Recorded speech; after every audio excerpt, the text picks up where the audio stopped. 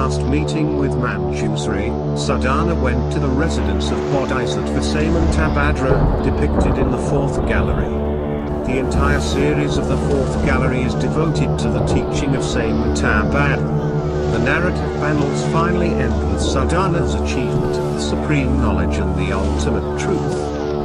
Apart from the story of the Buddhist cosmology carved in stone, Borobudur has many statues of various Buddhas.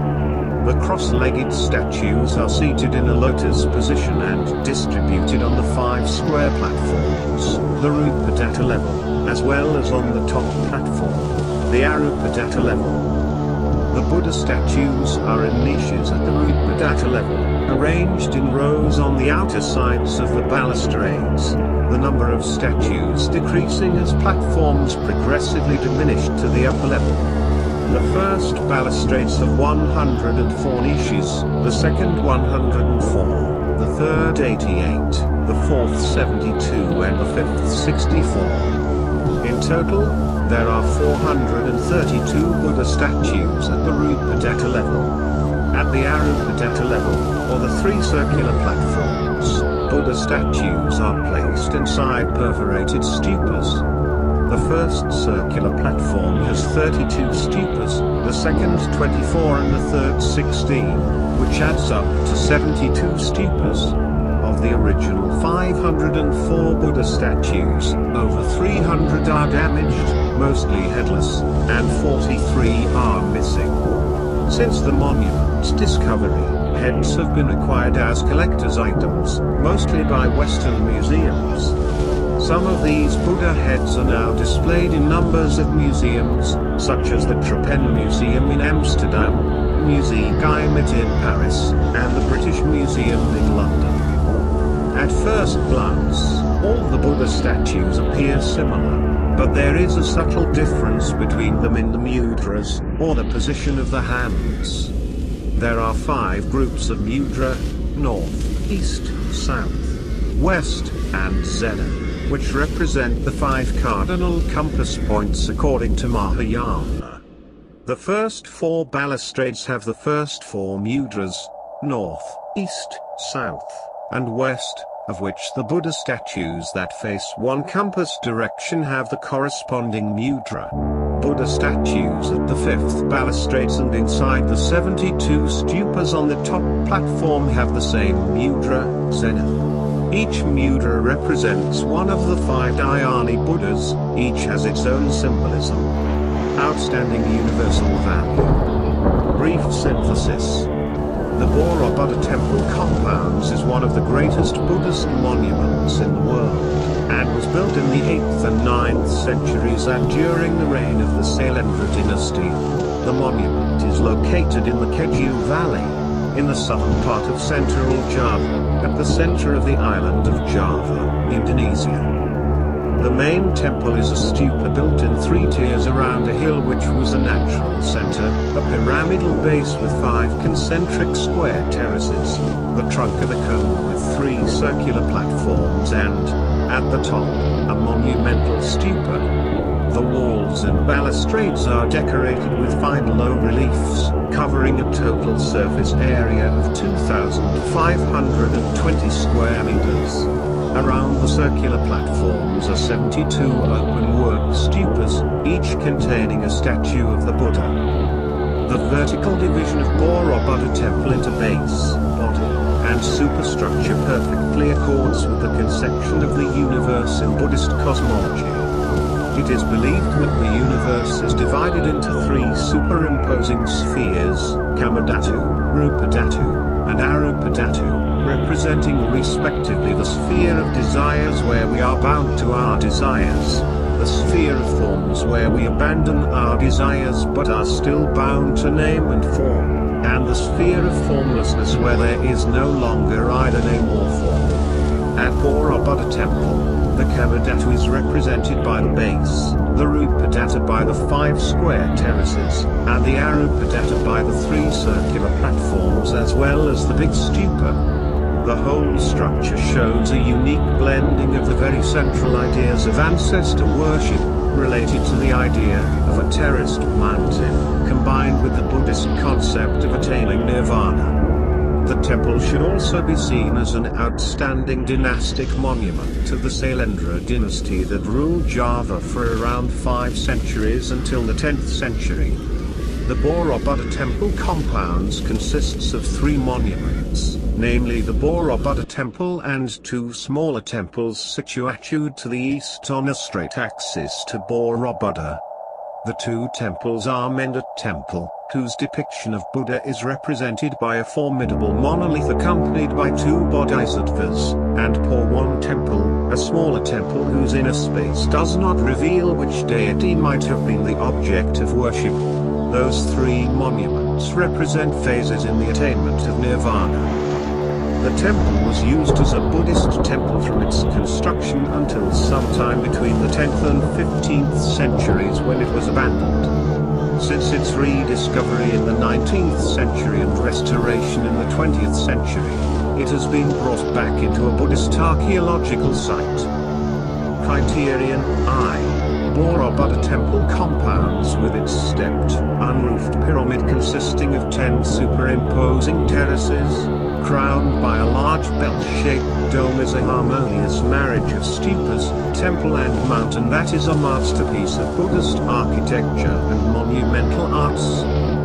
Criterion 2 Borobudur Temple Compounds is an outstanding example of Indonesia's art and architecture from between the early 8th and late 9th centuries that exerted considerable influence on an architectural revival between the mid-13th and early 16th centuries. Criterion, vine, laid out in the form of a lotus the sacred flower of Buddha, Borobudur temple compounds is an exceptional reflection of the blending of the very central idea of indigenous ancestor worship and the Buddhist concept of attaining nirvana. The ten mounting terraces of the entire structure correspond to the successive stages that the Bodhisattva has to achieve before attaining to Buddhahood. Integrity the boundaries contain the three temples that include the imaginary axis between them. Although the visual links are no longer open, the dynamic function between the three monuments, Borobudur Temple, Mendut Temple, and Pawon Temple is maintained. The main threat to the ensemble is from development that could compromise the extraordinary relationship between the main monument and its wider setting and could also affect the outstanding universal value of the property. The approach to the property has to a degree already been compromised by weak developmental regulations. Tourism also exerts considerable pressure on the property and its hinterland. There is a growing rate of deterioration of the building stone, the cause of which needs further research. There is also a small degree of damage caused by unsupervised visitors. The eruption of Mount Merapi is also considered as one of the potential threats because of its depositicity cache as happened in 2010. Authenticity The original materials were used to reconstruct the temple in two phases in the 20th century, after the turn of the century and more recently, 1973 to 1983. Mostly original materials were used some additions to consolidate the monument and ensure proper drainage which has not had any significant adverse impact on the value of the property. Though the present state of Borobudur temple is the result of restorations, it retained more than enough original material when rediscovered to make a reconstruction possible. Nowadays the property could be used as a Buddhist pilgrimage site. Its overall atmosphere is, however, to a certain degree compromised by the lack of control of commercial activities and the pressure resulting from the lack of an adequate tourism management strategy dating the Borobudur temple is based on artistic comparisons of reliefs and inscriptions found in Indonesia and elsewhere. The period in which the Javanese constructed Borobudur is shrouded in legend and mystery. No records pertaining to its construction or purpose exist, and dating the temple is based on artistic comparisons of reliefs and inscriptions found in Indonesia and elsewhere throughout Southeast Asia. Strong cultural and religious influence derived in what is now present-day Indonesia from the Indian subcontinent beginning around the 1st century. This influence grew rapidly from 400 onwards.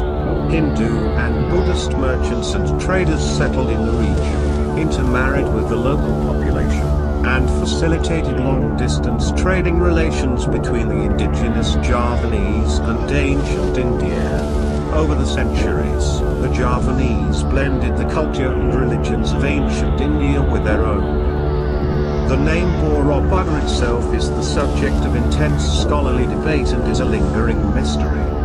Some scholars contend that the name stems from the Sanskrit Vihara Buddha or the Buddhist monastery on a hill, while others, in turn, argue that Buda is nothing more than a Javanese place name. The stone tablet dating from 842 makes mention of Bhumisambharabhudhara or the Mountain of Virtues of ten stages of the Bodhisattva. It is probable that the name Borobudur could be related to Barabhudara. Modern historians have all disagreed amongst each other as to the political and cultural events that led to Borobudur's construction as well. It is possible that the Hindu Sanjaya dynasty initially began construction of a Shivite temple on the spot where Borobudur now sits around 775 and that they were unable to complete their temple as they were driven out of the area by the Sailendra dynasty. It should be noted, however, that other Javanese historians see the Sailendra and Sanjaya dynasties as one and the same family and that religious patronage simply changed as a result of personal belief. The general consensus is that there were two rival dynasties supporting different faiths. Archaeological and scholarly consensus places the end of Borobudur's construction around 800 to 825 CE. King Samaratunga, 790-835, is traditionally regarded as the Javanese king who oversaw the completion of Borobudur's construction.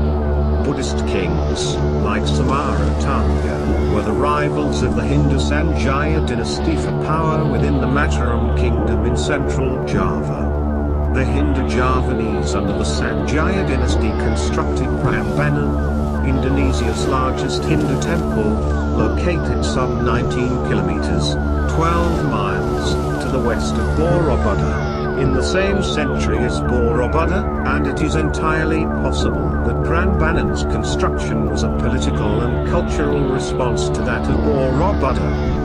The Temple of Borobudur or sometimes Borobudur is a Mahayana Buddhist temple located close to Muntilan on the island of Java in Indonesia built during the rule of the Sailendra dynasty 650-1025, Borobudur remains the world's largest Buddhist temple.